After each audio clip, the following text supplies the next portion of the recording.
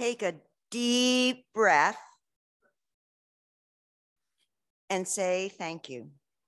Thank you. Thank you for this moment to be together where in person I get to welcome you to First Parish in Portland for in-person worship.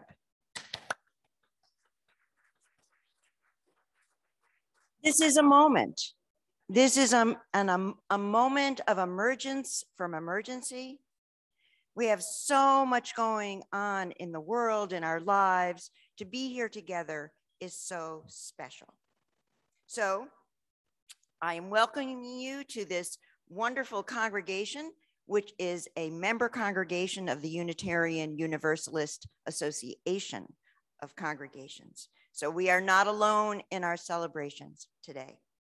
On this very first post-pandemic in-person service for 100 members and friends, I want to extend a very warm welcome to you all and to anyone who might be visiting us for the first time, whoever you are, wherever you're from, whoever you love, whatever your gender identity or faith tradition, your culture, we have made a place here for you to be amongst us.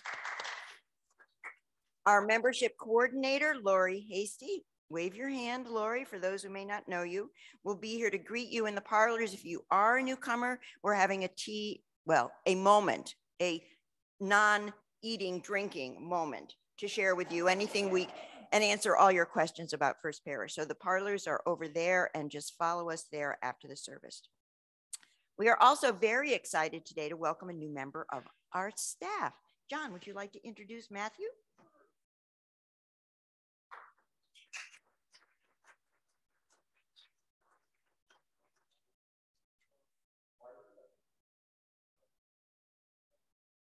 Use a microphone, John, your mask.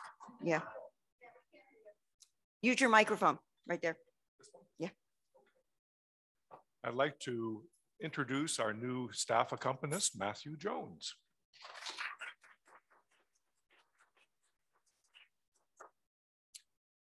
Every week here, we acknowledge both virtually, hello to wave, turn and wave to all the people who may be watching on live stream. Hello. We remember that we stand, sit, work, play on sacred ground.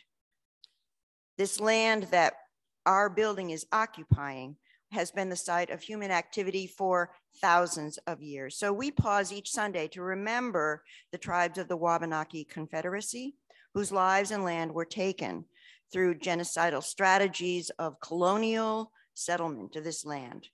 We pay respect to the elders, both past and present, who comprise the Wabanaki Confederacy, those members of the Penobscot, Passamaquoddy, Maliseet, and Micmac people who have stewarded this land for generations.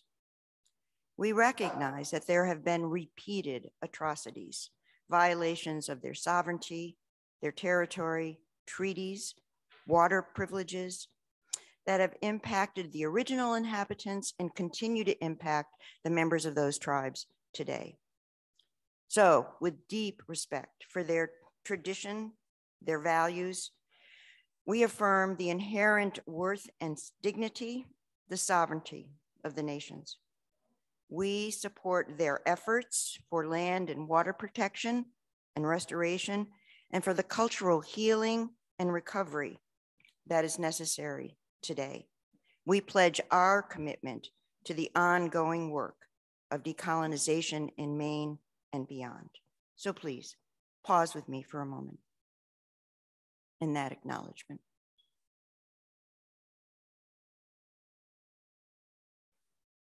I want to remind you now that we're back in person, tables with candles.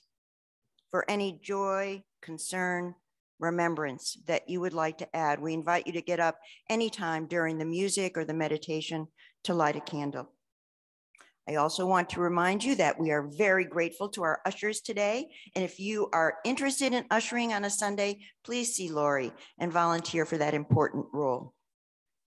We also want to remember that we are cherishing the youngest members. And the reason we're wearing masks is it's not as important for adults, but we cherish our youngsters. And I want you to, behind those masks, be smiling at them, appreciating their chortles and movements during the service because our families and our children are our future. So since February 20th, we have been, been engaging our members and friends in a campaign of stewardship. Who here doesn't know that we've been working on stewardship? So I want to invite at this time Tom Rogers and Leslie Runzer to come forward and give us their stewardship story.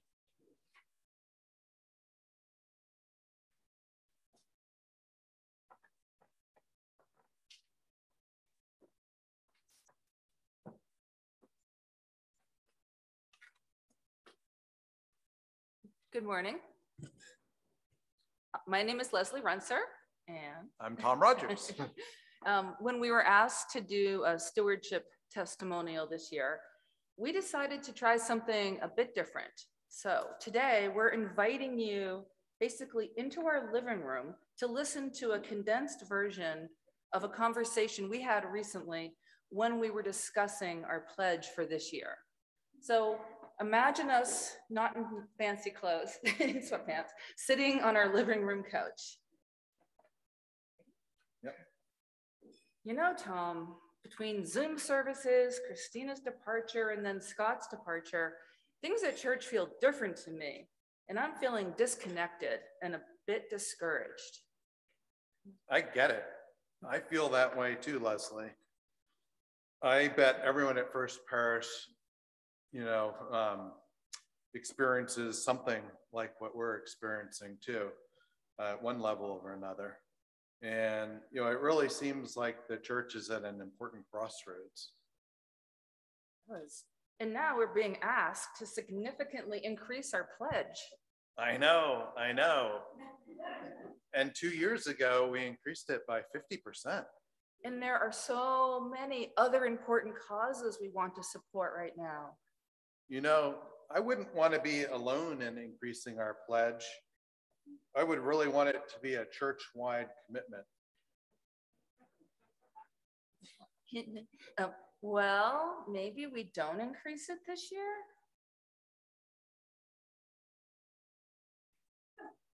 Well, think about the hard work going on behind the scenes at First Parish much of which we've been oblivious to because we've been signing on via Zoom.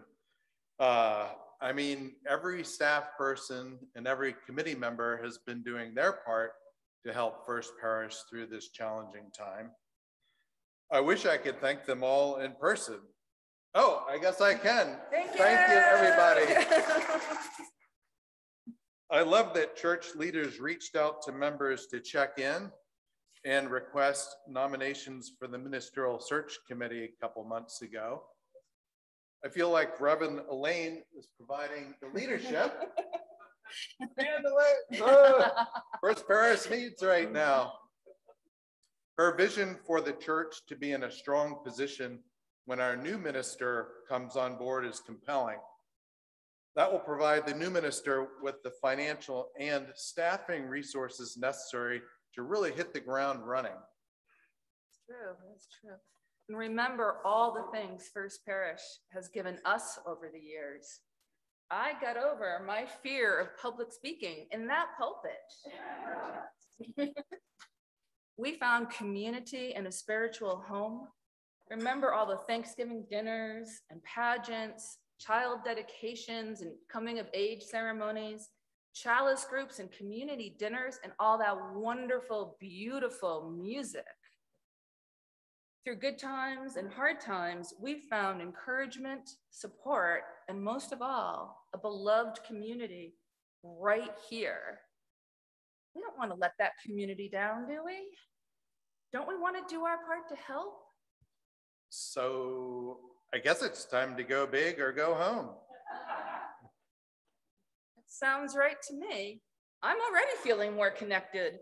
I want First Parish to thrive into the future. Sure, we both do a lot for First Parish, and maybe right now we can do some more. Let's Hmm. step up to do our part. Hmm, okay. Let's increase our pledge by another fifty percent. Hmm, Will you join us? Please join us in pledging generously to First Parish.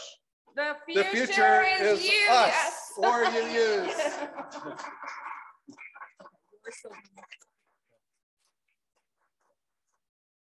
Thank you both for your commitment and your expertise at public speaking.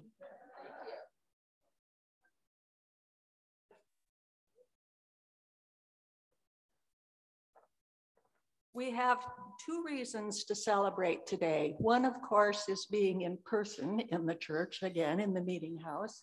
And the other is, some of you may know, is that this is Reverend Elaine's birthday.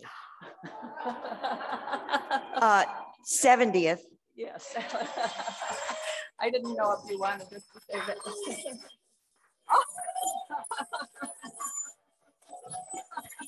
Oh.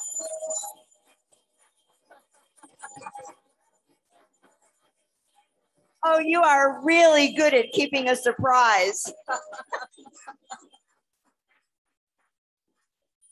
Thank you, thank you, thank you. That means so much to me. Thank you. What a, what a treat. And And um, I want you to know what an honor and a privilege it has been to work with you so far. We have much more to do. Well, not, not, there's much that we are still have ahead of us to do. And today is such a monumental moment, not just a birthday, but a milestone in the time that you've experienced over the last two years. And certainly I have as well. So I am so, so grateful to be here and sharing that with you. Thank you. Thank you. So I wanted to, um, on the behalf of the whole membership, wish you good fortune, good health, and good times in the year to come. And in ordinary times, we would sing happy birthday to you, of course, but these are not ordinary times. So Matthew, I think, is ready to play happy birthday. Is that right? Maybe. No. Oh, okay. oh, Matthew no. Anyway, anyway, okay, good. He can Then wing we'll- it, We can I'm all sure. clap and make noise, not, not singing, not singing.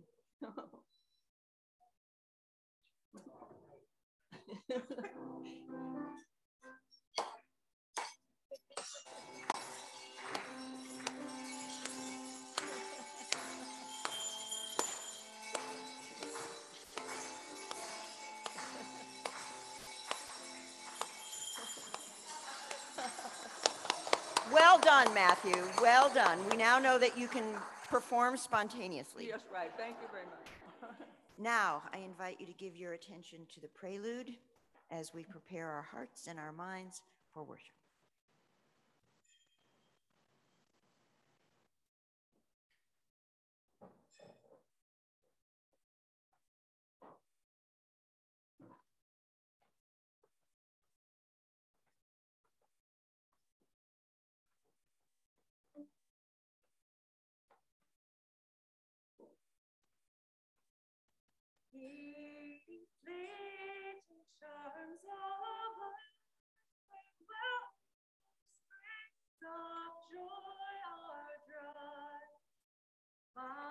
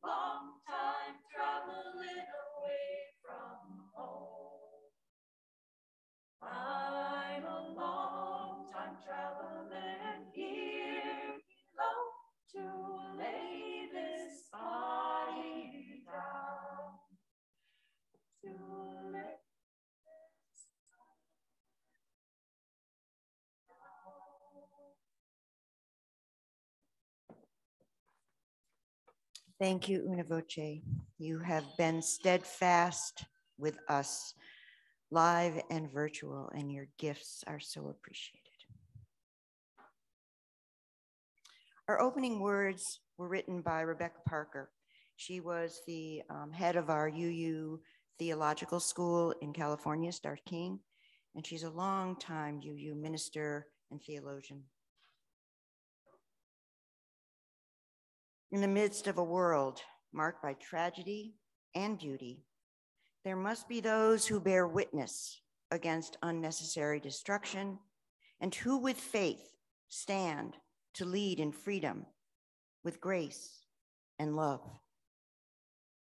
There must be those who speak honestly and do not avoid seeing what must be seen of sorrow and outrage, of tenderness and wonder.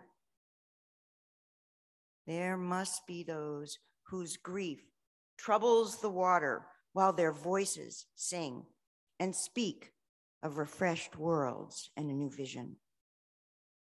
There must be those whose exuberance rises with lively, lovely energy that articulates earth's joys and hope.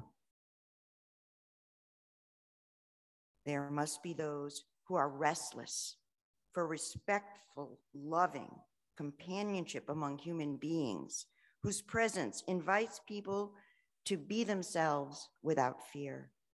And there must be those who gather with every congregation of remembrance and compassion, draw water from old wells, and walk the simple path of love thy neighbor.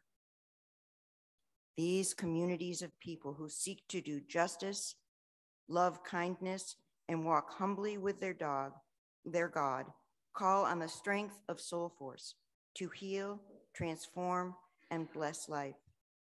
It is important that we remember there must always be religious witness.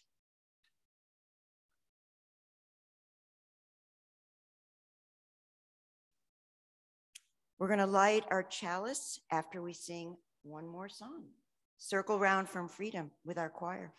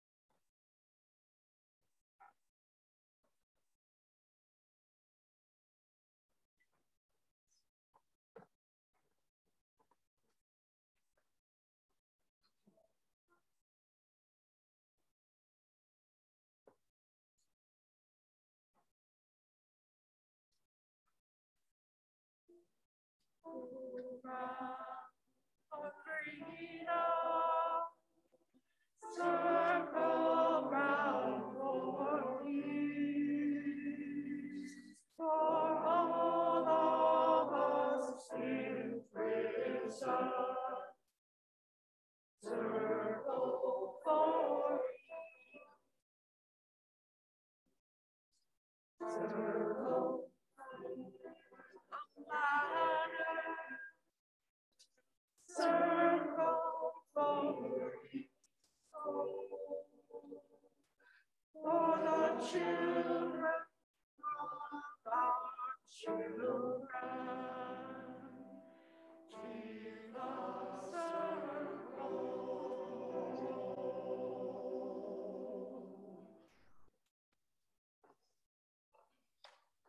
invite you in any of the songs, we can't sing together, but we can hum. So if you know the tunes, please hum. We're going to light the chalice today, a chalice of light to face the world's coldness, a chalice of warmth to face the world's terror, our chalice of courage, to face the world's turmoil, a chalice of peace, and to rekindle our faith, a flame of hope.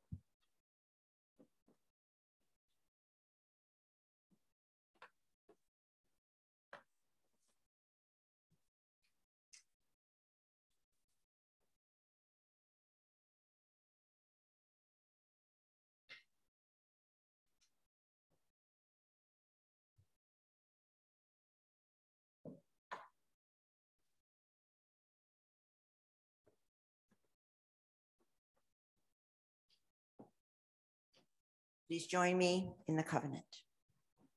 Love is the doctrine of this church. The quest for truth is its sacrament, and service is our prayer. This is our great covenant to dwell together in peace, to seek truth in love, and to help one another to the end that all souls shall grow into harmony with the divine. Tobin is here in person to share a story for all ages. Welcome. Good morning, children. Oh my goodness, it's been two years since I've gotten to say that here from this chair. So, good morning, children. Good morning, everyone. It's so nice to be with you all. So, back pre COVID days, I would call all the children up, but today I'm not going to do that. I'm going to invite you to stay with your families. But I did see some children's faces. I saw Josephine, I saw Ellen, I saw Destiny, I saw Jordan, I saw Jerome, I saw Win, and I saw Rosalie. And I'm sure there's um, other childlike hearts out there. And if there's any other childlike faces I didn't see, I can't wait to see you in just a little bit. So, the way that it works on a Sunday morning when we have kids in the service is that we will all start together, we will light our chalice, I will come up and tell a story. And then we used to sing the children out. And so we won't be singing because we're not there yet. But who remembers the song that we used to sing the children out to? People remember? Does anybody remember what it was called? What was it called? Yeah, it was called We Will Keep a Place for You. And how true those words are. You know, a few years ago, I switched our song to We Will Keep a Place for You. And I did a little talk about it during Stewardship Month because uh, I feel like it's a really important dedication and a really important statement to our children. The words of the song are We will keep a place for you wherever you may go. We'll sustain this home of faith and love you've come to know. Go in peace, bring hope to hearts that yearn we will keep a place for you until you return. And today, the children have returned. And you truly did keep a place for them. And as hard as it has been to be away from the children, I always say, I, I do better when my heart is in the same room as children. and then it's been really nice to have like my heart in the same Zoom as children, but there's something extra special about being here with you all today and about getting a chance to be with the children. And I thank you so much for honoring that vow to the children, for truly being people who care enough to keep a place for them to go. They are our future. Um, and I can't wait to see this church filled back up with children. Um, and so we're going to, I'm going to ask my teachers here. This is, this is Ray Jett, who is one of our teachers, and this is Samson Spatafor, who is our other teacher. We're not going to sing the children out, but we are going to play them out. And what I'm gonna have you do, can you demonstrate for me? We're gonna try this new thing, especially since we're not really singing, where we're gonna make an arch in the center aisle.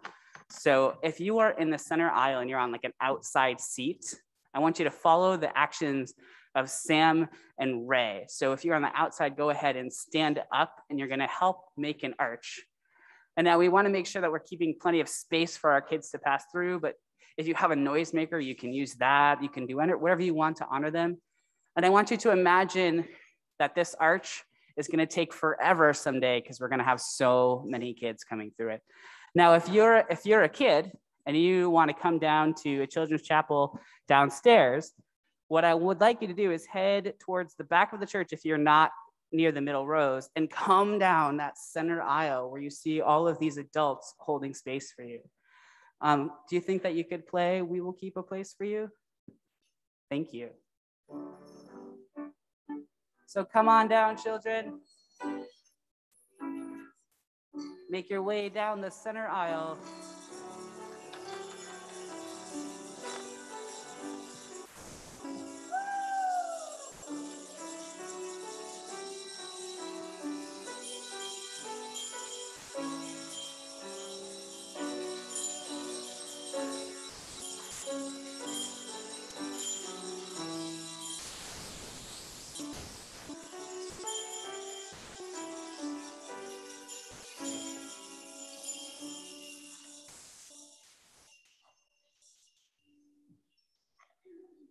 Thank you. That is our new tradition. We will do that every week. So if you really want to be an archer, sit on the end of the pew and then you get to be an archer.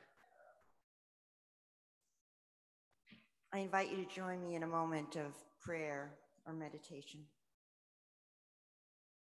This is the time in our service each week where we take deep breaths to acknowledge our own lives the lives of our fellow members, the world around us,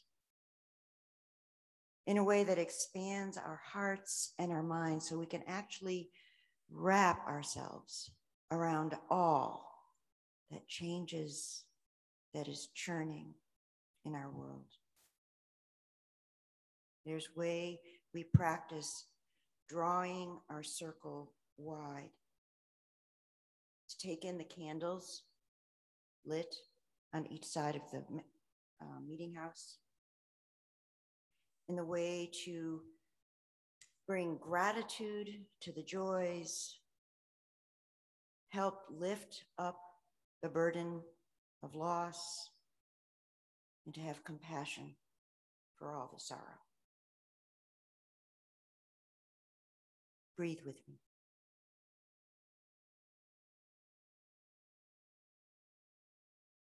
Allow your breath to relax your body,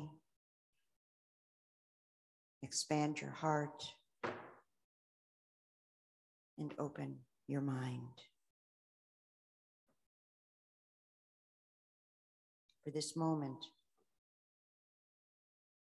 take in the world's fears right now,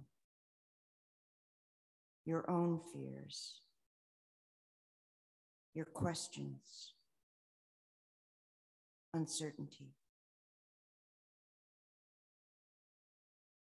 There is a woman, Lynne McTaggart, who's invited the world to join her in a meditation of intention, an intention of peace in Ukraine. She invites us, and I invite you, to take that next deep breath And when you exhale, let go of any judgments or preconceptions. No wordsmithing of an intention. Allow these few words to settle into you. To surrender yourself to them just for this moment, letting go of those fears, anxiety, focusing your intention and attention only on peace. With all of your heart and mind, repeat in your mind all people. Lay down your arms. May we all lay down our arms for the world lay down your arms. Lay down your arms.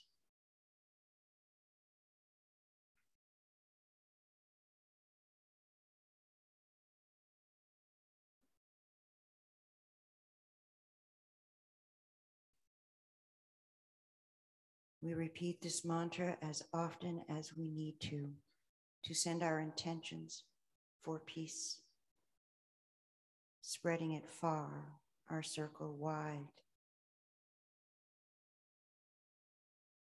Always, we share in this moment that we may heal and not harm,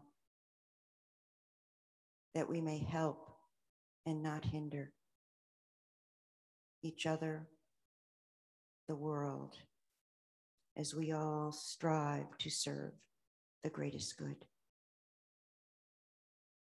May it be so. Amen. And blessed be. I invite you to hum along with the choir as we enjoy Spirit of Life.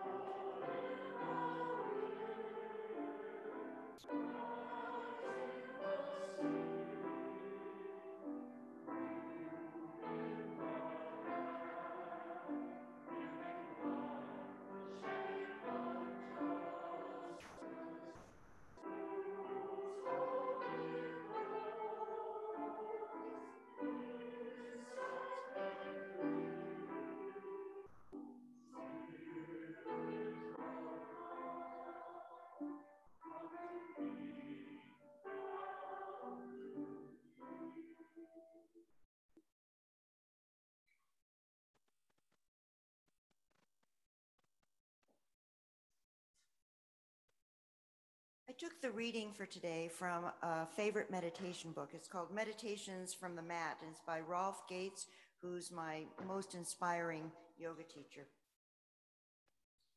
He has this meditation, you know, one of those you read one every day, and he began one recently with the Indigo Girls, Indigo Girls song, uh, Closer to Fine. Darkness has a hunger that's insatiable, and lightness has a call that is hard to hear. We spend our days badgered by voices that tell us to judge others, fear others, harm others or ourselves. We are not obligated to listen to those voices or even to take responsibility for them. They may be where we come from, but they are not where we are going. There is another voice that shines. Ahimsa is the practice of listening to that voice of lightness, cultivating that voice, trusting that voice, acting upon that voice. Ahimsa, the voice of nonviolence to self or other.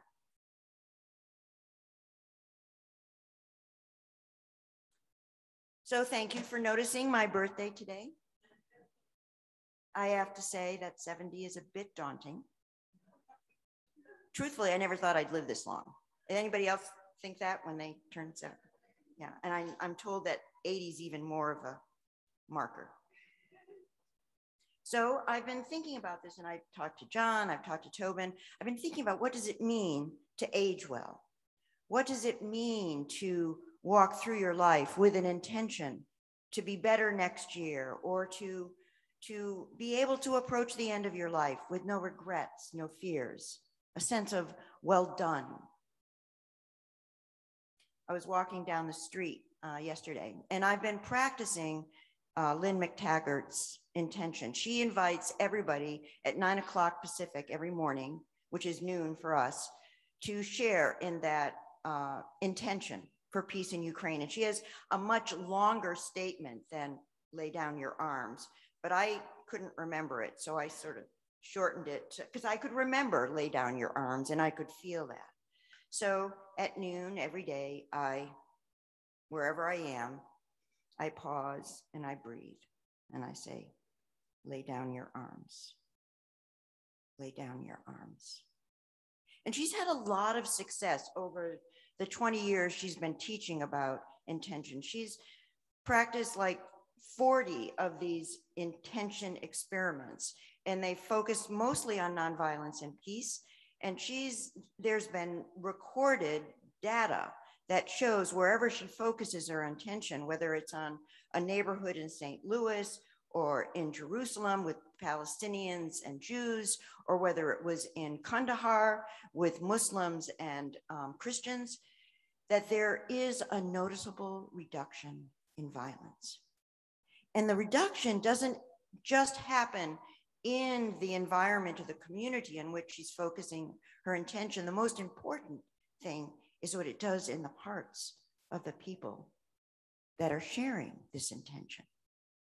So, yesterday I had to go to the library and it was raining. Remember, it was cold and rainy yesterday. And I was walking with Gussie and I said, Well, I'll put Gussie in stay in that little, I'll, right in the beginning part of this, as you go through the doors, but it's not into the library. So I brought her in, I put her in stay, and the librarian came out and said, Oh, is that your dog? And I said, We don't allow any dogs in the building. I said, Well, just here because it's raining. And, and she said, I'm so sorry, but because of allergies, no dogs, not even service dogs. And I was like, so I had to walk the dog back and put her into her into the office, and I'm like a little frustrated. And then it was noon. So I'm going, lay down your arms. lay down your arms. And what I realized is that it was about me laying down my frustrations, laying down my judgment. And I felt this sort of calm and appreciation for that librarian's courage to be able to confront this ornery woman who wanted to come in to the library with her dog. And I, when I went back to the library without Gussie, I was able to thank her for her for her integrity and for managing me and go about my library business. So these intentions are important that ahimsa moment, to have something that allows you, us, each of us, to lay down our arms, to lay down our judgments, to lay down our frustrations, our fears, our uncertainty, to for a moment expand the compassion in our hearts for ourselves and for other. Intentions call us this day, each day, to mature politically, socially, emotionally, spiritually, to learn how to relate to one another responsibly, respectfully, to hold boundaries appropriately for our bodies, our minds, our spirits, for this very precious earth. So I'm coming of age, finally. And I thought about this as I thought about all the coming of age programs I've worked with as a minister in the different congregations I've served, teaching our youngsters their values, the, the ability to have boundaries, to care for self, mind, spirit, and every time I'm reminded that we are eternally coming of age. It isn't something magical that happens at the age of 13. There, done with that, past. Mm-mm. From birth to death, we are always coming of age. It's a choice. I must admit, it is a choice I have made that choice, some of you may have, to improve in body, mind, or spirit each year, to learn something new, to challenge ourselves, to grow. Last Sunday, I want you to know, I took a full day ski lesson, Black Diamond, from nine to four. I did moguls and said to myself and my instructor, this is what 70 looks like. Coming of age, right? The most important consideration, and I had to think of this last Sunday, is in coming of age, we set ourselves goals that challenges us, challenge, but don't kill us. Right? I'm not going over any cliffs and I'm not doing any flips. I don't need to go there. But there is a sense of I can improve my stamina, my strength, my control. We can improve our ability to be compassionate, non judgmental, spiritually mature, and to balance the right amount of challenge with the right amount of success.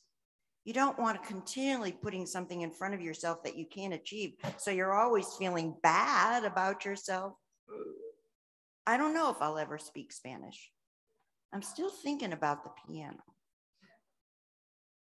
What can we take on at the age of five, 10, 30, 50, 70 that brings 80, uh, 90? I'm going, I'm, I'm 90. So it's important to have a focus on coming of age, always.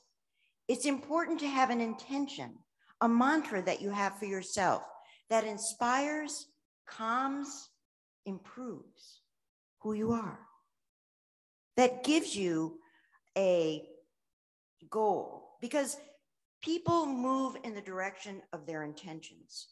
And the more positive your intention, the more positive and courageous and strength filled your steps will be. The momentum for any large scale change, as Lynne Taggart is trying to produce, is determined by the percentage of people who are involved. The more people actively engage in the process of change and transformation, the more possible that transformation is. So we can all have a moment. When you say that mantra, lay down your arms, it not only shifts your heart to ahimsa, nonviolence, but for me, it gives me some sense that I'm doing something, that I am not helpless in this moment, only floating in the current of what the world is producing. It gives me ownership.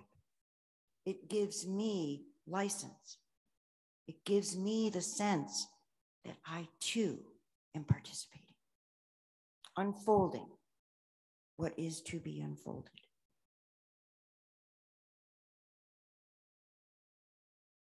So, intention is a direction that we choose with our thoughts, with our hearts, and then we move in the direction of the image of our future.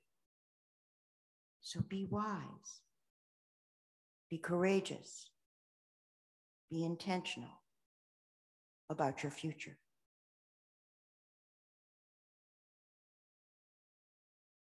First Parish is coming of age too. You are transitioning between ministers, music directors, futures it's important for you to recognize and have an intention between the past and the future. Where do you want to go? Who do you want to be? What do you need to let go of? What do you need to hold on to? What balanced vision that is achievable can you create and hold? together? Can you hold your intention on vitality, on relevance, on a place for youth, a place for music, a place to be a leader, a historic leader in the city of Portland. Coming of age is all about rethinking what you know, questioning your construction of reality, reshaping your beliefs. In its most simple analysis, coming of age is wise discernment. Discernment simply of what to let go of and what to hold on to. Using ahimsa, nonviolence. So you're letting go and holding on without rigidity or violence. Lay down your arms. Listen for the voice of lightness, nonviolence, no greed, no hate. Surrendering and letting go of that voice, that hunger that is insatiable. Ultimately, we must let go of everything material goods, relationships, life. And I think coming of age is about that practice of letting go continually so that when it's time to let go of life, we're prepared, we're practiced. We've learned what is essential to living well. There's a story about anybody know the monkey in the cage? There's a way the Indians uh, practice catching monkeys. So, what they do is they get a big board and they nail well, first they, they take a coconut and they cut it in half and they carve out all the coconut inside and they leave the coconut on the board. And then they take the half a coconut shell and they carve a little hole in the top, just big enough for that monkey to get her hand into, but not big enough to haul out a chunk of coconut. So it is proven very effective no monkey will let go of the coconut. So they sit there struggling. They're, they're, they can't get their hand out. It's a very kind and humane way to capture monkeys because it doesn't hurt them, frustrates them, but doesn't hurt them. So as long as that monkey is holding on to that coconut, they're captured. Won't we all have our little piece of coconut? Maybe big piece of coconut that we hold on to? A grudge, a judgment, a prejudice, a frustration, a dream, a desire, a must have. What is your piece of coconut? It is so important. Your hand locked on that thing to release it. Remove your hand and enjoy that ahimsa moment of freedom. No longer controlled by whatever that is, that is your piece of coconut. I'm not sure why, when I was revamping the sermon this morning, I always come in at eight and kind of go through and toss things around and fix them. And what kept coming to my mind was this quote that I remembered from like high school when I read Cry the Beloved Country, Alan Paton's book. There was a line in the book that said, Fear will rob us of all we are if we love too much. And I think it's about the coconut. Because the hardest things to let go of, I think, are the things we love so much. Maybe not the destructive parts of our nature, but the fear of losing something is probably the most challenging thing to be able to surrender, to release. Fear will rob us of all if we love too much.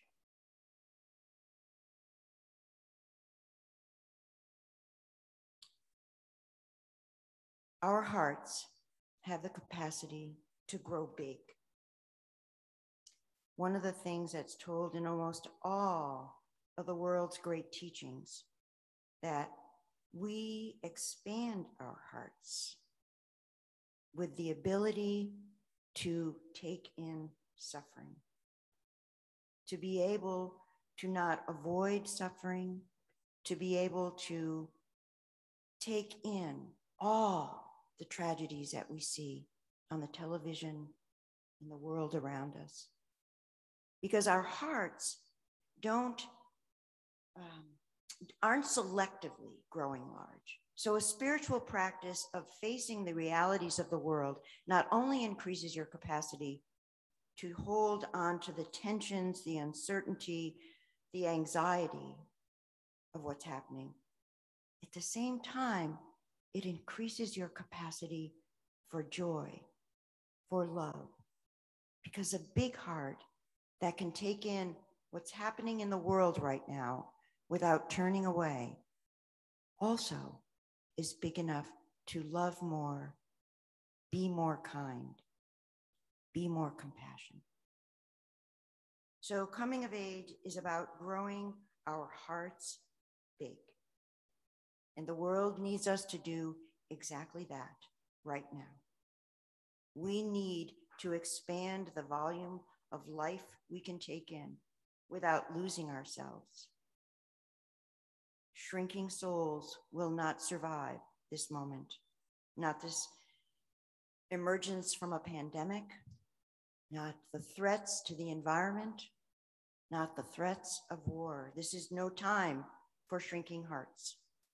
It is imperative that we adopt effective means to maintain our integrity, to expand our hearts, to live our values, discovering, collaborating, loving, all, whether they are vastly different from us or not. We need communities like this one. This is so important that First Parish be here as a religious witness, a witness to what a faith community can accomplish, can model, can send out to the world in intention. There are no principles or values more needed in the world than ours right now. So do not take this congregation for granted, or your place in it, or your intention for it.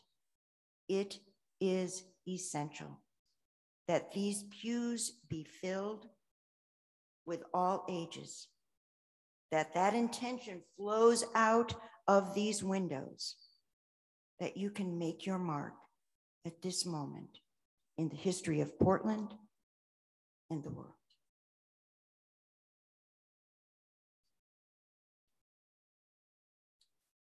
It was Carter Heyward who wrote years ago. She was one of the first women ordained as a priest. And she says that what we do with our strength matters that our strength, our love, our intentions for this world are the ongoing incarnation of God in the world, a God whose name in history is love. May our intentions flow from this space into the world with love. Namaste.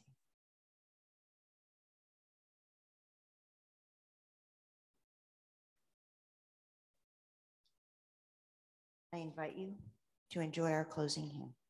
We would be one.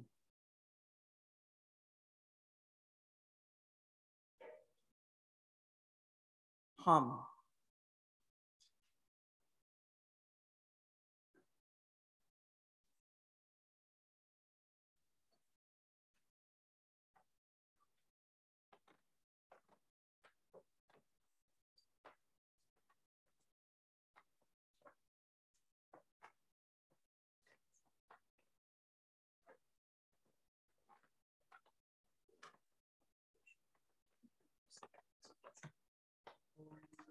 This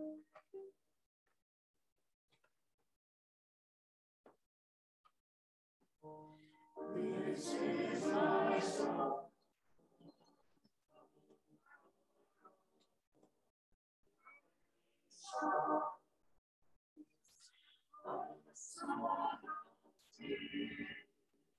For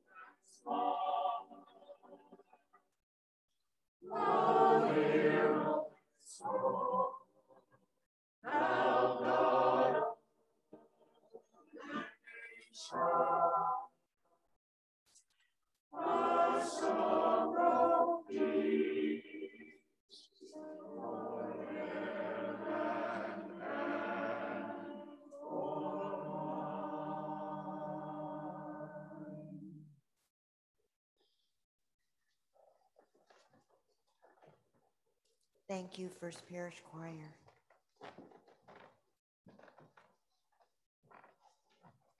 An offering in person. Our ushers will come forward and gratefully receive your gifts, all your gifts, our contributions to the well being and the vitality of this meeting house and the congregation that resides in it. Please be generous. All your gifts are holy.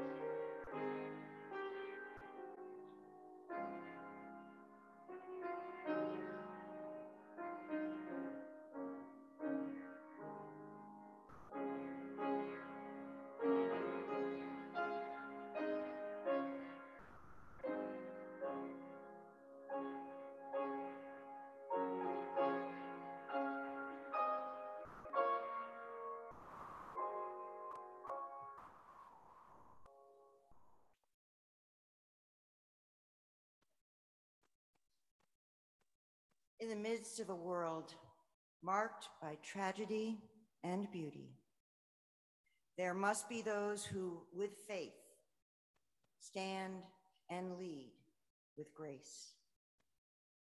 May each of our lives be a witness, bearing witness to the courage in faith that people can be true to life and love, that there is still religious witness for the good of all. May it be so. Now I invite you to share in the chalice extinguishing words.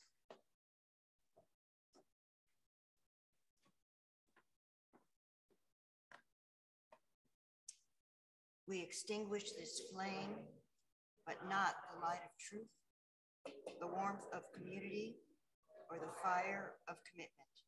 These we carry in our hearts until we are together again next Sunday.